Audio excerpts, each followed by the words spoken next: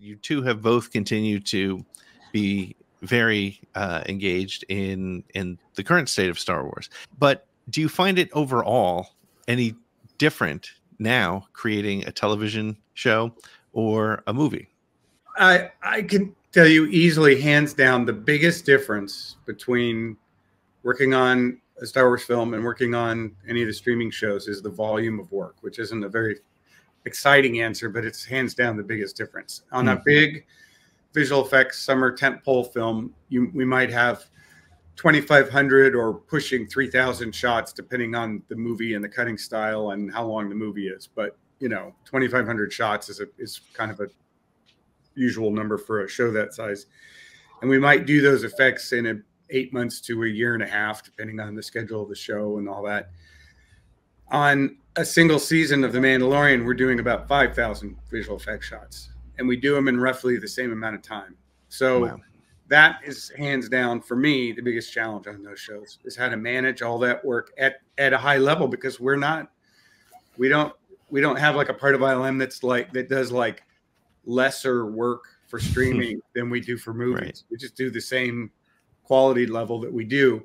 We just have to find a way to manage the work and and fit it into the box of the schedule and the and the budgets and stuff for streaming. Um, so that's the biggest challenge but there's other exciting things like the volume is really cool. Um, but that's part of what Rob was talking about about ILM, just always kind of innovating and looking for new ways to do things. And it's always great when we have a um, director who's keen to do that, which Favreau clearly is. He's been innovating for a while with projects like Jungle Book and Lion King before The Mandalorian, where he was experimenting with different forms of virtual production, and that carried on into uh, you know partnering with us to create the volume for Mandalorian. And honestly, that's that's another thing that I really enjoy about the streaming world is is actually getting to work with a bunch of different directors on a season um, rather than because I love you know working with directors and getting to know directors is one of the my favorite parts of the job. But um, on a feature, you you meet one director and you kind of partner with them, which is great and it's rewarding and all that. But on a the fun thing about a streaming show is you might get you know four or five different directors over a whole season that you get to know and get to learn from and rub elbows with and hmm. so that's that's been really fun and then mandalorian's the first streaming work i've ever done i, I hadn't worked on any um, tv stuff I, we call it we still call it tv stuff but it's a different world now it's um, but yeah it's the first thing i've i've worked on what about you rob any thoughts well, ILM has grown enormously since the days when we were doing Phantom Menace. So we've got five studios around the world, and these mm. streaming shows are parceled up and sent to the five different studios. So that's a different way of working than we were working in the old hmm. days.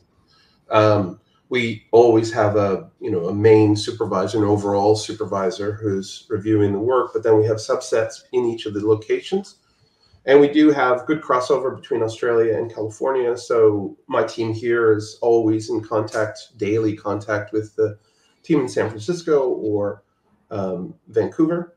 Um, so that's a different way for us to work. But it is about the efficiencies and it's about you know leveraging all everything we've learned over all the movies. And so there's a there's actually a Star Wars Council. They hmm. have regular meetings where they share best practices, and they also have a whole presentation that they uh, show to these new episodic directors who come in so they also understand. So it's about, it's always about um, helping the filmmakers um, understand our world so that we can help with their vision. So mm. It, it is fun having more, you know, uh, uh, over you know t- turnover between the, the, directors. So you are and you're getting a different flavor of star wars from these different folks. So that is that's a lot of fun. But I can speak from the Sydney team. They love working on these shows. I mean, we still have a, a large percentage of our crew that are now like less than half my age, but they have come because, uh, you know, Star Wars at some point in their life has touched them and they want to be part of that. So we got a lot of really enthusiastic people who were like, put their hands up. I want to work on the next one. um, and so that's great. Yeah, I have. You have, you have that experience where someone will come up to you in the hallway and say, Oh, Attack of the Clones was the first movie I ever saw in a theater with my parents. I was six years old. And, yeah. and I just look at him and say, that's deeply hurtful. Never say anything like that again. I don't want to know how I, I don't want to know that I'm that old. Please, please never say that again. I, well, I, see that... I, see, I, see, that as passing the baton because I did that to Joe Johnston not too long ago.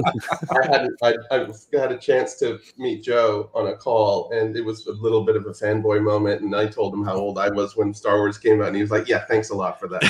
you know, I was 13 and I'm 60 now. You know, it's like, oh my god.